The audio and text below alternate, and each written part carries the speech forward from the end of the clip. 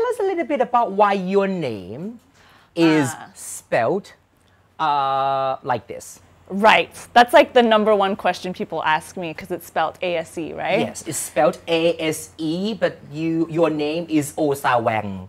That's the Thai name, Oh Yes. Um, but actually, it's a Swedish name. Ah. Uh, it's actually pronounced as Åse. Oh, Åse. oh my gosh. Yes. Uh, Åse. Åsa. And it has like an accent on the A because Swedish people have like a like a halo. Okay. I like to think of it as a halo on the A. Okay, okay. uh, which is pronounced as Åse. And it Okay. means princess of bravery. Princess of Bravery Yes. เจ้าหญิงแห่งความกล้า Yeah. Are you brave Um, I think I'm gutsy. Oh Yeah. okay I'm quite a gutsy okay. person, so. Okay okay But my mom gave that to me because my mom is Swedish and my dad is Chinese.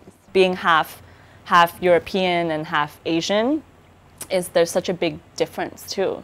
Because my dad's a very typical Chinese dad, you know, where everything is business and money, and my mom is like a very typical Swedish. Um, just take life as it comes. So there was always kind of like that middle ground of like, Yeah. Where- so your mom is like what this. am I gonna end ถูกไหม up คือ like? คือแม่ก็จะเป็นแบบว่าโอซา enjoy your coffee just be happy with your life. Yeah, enjoy your Everything will be coffee. fine. I'm don't like, rush and then your dad would How much money you have in the bank, huh?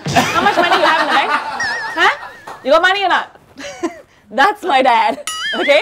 Everything should be money and you gotta make money, okay? I didn't finish high school.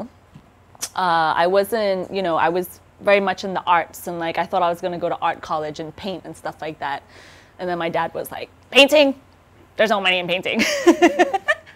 but my, my dad's always been very supportive of what I wanted to do. So he was like, the biggest um, lesson that you can learn in life is to travel and talk to talk to people. My dad loves to talk to people, so I learned a lot from talking to people. And then I just gradually found my way into the entertainment industry. And it was my neighbor, a very famous photographer called Russell Wong, that actually talked to my parents and said, "Well."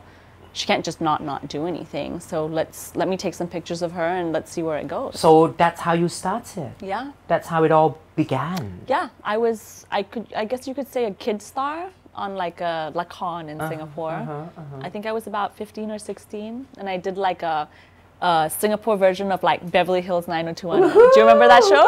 Yeah. So that that's how I started. okay what do you love most about working in the entertainment industry in Thailand I like working in Thailand because I feel like everyone is so happy. And I think it really is what people say in Thailand is that it is really the land of smiles. Like it could be so hot outside. We work under very like long hours.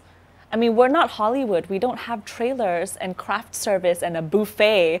We work um, sometimes what 20 hours a day? We eat lunch from like styrofoam boxes. We sit on plastic chairs. But everyone is still so sabai and happy about things you know? And i think that's what's very endearing about thailand